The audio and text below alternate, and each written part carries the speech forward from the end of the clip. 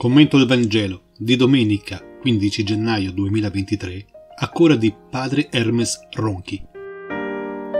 Il comando fontale. Il peccato del mondo è scegliere la morte.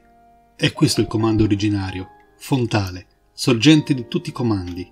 Legge di Dio è che l'uomo viva. Viene uno che era prima di me. Vedo con gli occhi di Giovanni il venire infaticato di Dio incamminato lungo il fiume dei giorni, carico di ogni lontananza. Viene negli occhi di tutti gli uccisi come agnelli, viene nei luoghi dove ancora si gioca il mio destino e quello del mondo. Giovanni, vedendo Gesù venire, avere, come lui, occhi di profeta è possibile, perché vi è un pizzico di profeta nei recessi di ogni esistenza umana. Ecco l'agnello di Dio che toglie il peccato del mondo. Ecco il piccolo animale sacrificato, il sangue sparso, la vittima. Ma di cosa è vittima Gesù? Dell'ira di Dio da placare con il sangue? Ma Dio aveva già detto per bocca di Isaia, sono stanco dei tuoi sacrifici senza numero. Io non bevo il sangue dei tuoi agnelli, io non mangio la loro carne. Isaia, capitolo 1, versetto 11. Ecco apparire invece il capovolgimento di Gesù, in ogni religione l'uomo sacrifica qualcosa per Dio. Ora è Dio che sacrifica se stesso per l'uomo e non chiede in cambio la vita del peccatore, ma dalla sua anche a chi gliela toglie. Di cosa è vittima allora l'agnello di Dio? Gesù è vittima d'amore. Scrive Origene. Dio prima ha sofferto, poi si è incarnato. Ha sofferto perché caritas est passio. Gesù è vittima della violenza, padrona e signora della terra che lui ha smascherato con l'amore, e la violenza non ha sopportato l'unico che ne era totalmente libero e, convocati i suoi adepti, ha ucciso l'agnello, il mite, voce e sogno di Dio. Il peccato del mondo è scegliere la morte.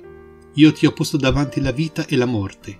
Scegli, ma scegli la vita, dice il Deuteronomio, capitolo 30, versetto 19. È questo il comando originario fontale, sorgente di tutti i comandi, Legge di Dio è che l'uomo scelga. Dio è un imperativo di libertà. Legge di Dio è che l'uomo viva. Dio è addizione di vita, supplemento d'umano. Nel Vangelo il peccato è presente e insieme assente. Gesù ne parla solo per dirci è perdonato, è tolto, è perdonabile sempre. Il cristiano testimonia il Dio capace di dimenticarsi dietro una pecora smarrita, un bambino, un'adultera, capace d'amare fino a morire, fino a risorgere.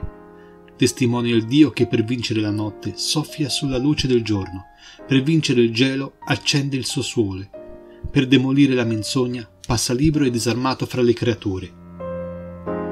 Ecco colui che toglie. Il verbo è declinato al presente.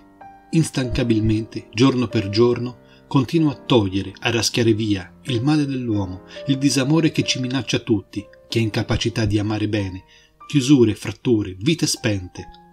Gesù, che sapeva amare come nessuno, guarisce il disamore del mondo. Ecco vi mando come agnelli, a togliere con mitezza il male.